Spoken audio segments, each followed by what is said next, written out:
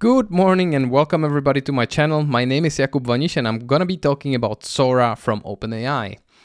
So I have done already uh, several videos about Sora and there has been some news recently that I wanted to discuss and also we have a bunch of new videos, a bunch of new examples as you know more and more people are getting their hands dirty with the Sora model, we we can see more and more creations out there, which also can mean that potentially there will be a launch later on this summer. So looking forward to test it uh, myself. I cannot wait. I already have some prompts ready in the background. So without further ado, let's check out these new examples. The first example that we're looking at is elephant made out of leaves and I find this quite quite impressive. Um, it almost looks like a real elephant underneath those leaves. Uh, of course, we need to mm, you look at the things that are kind of giving it away. I think the shadow is not not the best, and sometimes the the legs occluding each other are also not the best. Now, in the second video, we're watching a pirate kitten riding a robot vacuum.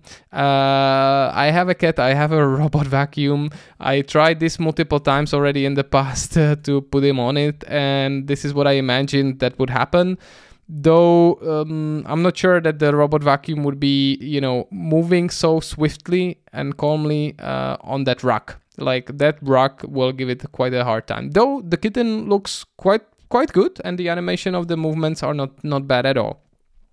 The next one that we're watching is Niagara Falls but with paint.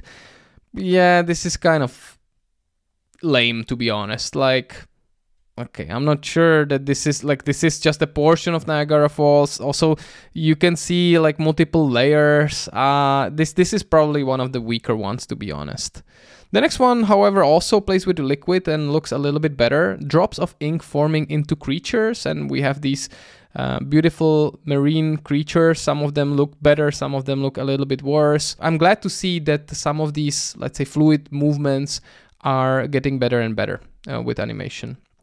The next one is a monkey playing chess in the park, and this one, this one I find really good. Um, again, what we need to look for is the fingers uh, or any movements and any occlusions of two limbs, for example.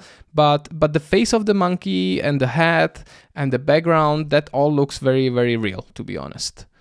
The next example that we have here is Victoria crowded crowned pigeon.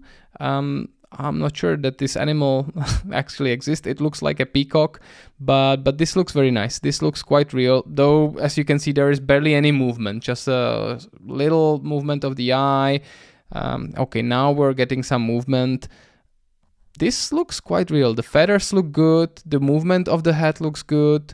The, the eye movement also looks good. I don't know if this animal would be blinking potentially, but okay, this I'm quite impressed with, to be honest. Cartoon kangaroo disco dances.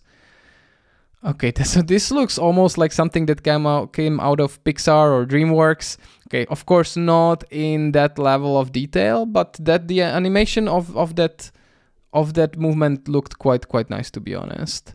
The next one says Borneo wildlife on the Kinabatangan River. I don't know where that is. Uh, well, in Borneo, but obviously. But okay, this this looks this looks good. The birds look quite good, though mm, the movement was not the the greatest.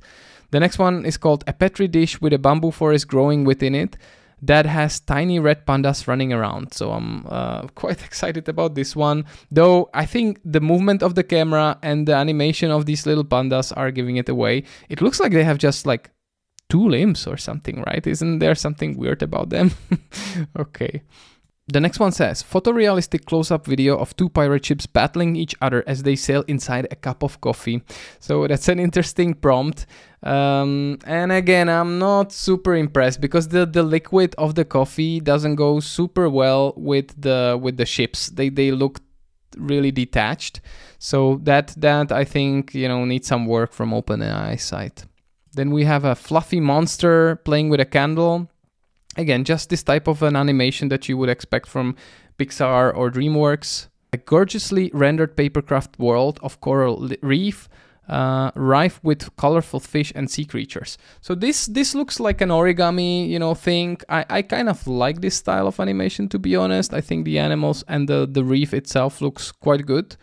Um, okay, the turtles are a little bit dumb, to be honest, but but uh, a lot of these creatures look good, and yeah, that's that's interesting. Okay, again, what's giving it away are some of the movements of the camera, like they are really unnatural, to be honest. This one is an adorable, happy otter confidently standing on a surfboard wearing a yellow life jacket again one of the animations but uh, i don't know like these animated ones i i honestly prefer the photorealistic ones even if they have uh, you know 12 fingers or 14 fingers i think uh, these are quite lame to be honest. Like this this doesn't look that impressive unfortunately for me.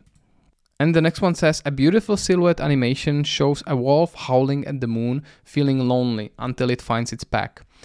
So this is almost like a 2D animated thing. The animation is a little bit stiff, to be honest, of the wolf, but for one of the first, let's say, 2D examples, this doesn't look that bad. Like this is supposed to evoke this kind of anime style, but look at this. This this looks like a transformation into a werewolf. This this is quite creepy, to be honest. This uh, yeah, gives me chills. I'm not sure what to think about it. The beginning was nice, but now now this looks uh, quite disturbing. And that's it. There we have it. So, uh, just you know, before we close, I was listening recently to a new interview of Lex Fridman with uh, Sam Altman, the CEO of OpenAI reinstated CEO of OpenAI, and he was talking about next products. He says that Sora, of course, interests him, but he takes it as kind of the first version of DALL-E. And uh, look where we are now with DALL-E 3. So they have plans in their pipeline to to make it to a totally different level. So I'm excited about that. Uh, and he was also talking about uh, ChatGPT 5, and he said that the jump will be, you know, as big, if not bigger, than compared to like from ChatGPT 3 to 4. And remember, we only saw 3.5 when they launched, right? So we didn't even see 3. So uh, they consider that a big leap forward. Now the 4 to 5 should be should be even bigger jump. Though when asked if it's already you know AGI level, he said no, they don't have AGI uh, in their works yet but it will be quite impressive. And actually, what leaked after that interview is that they are uh, attempting to launch it this summer.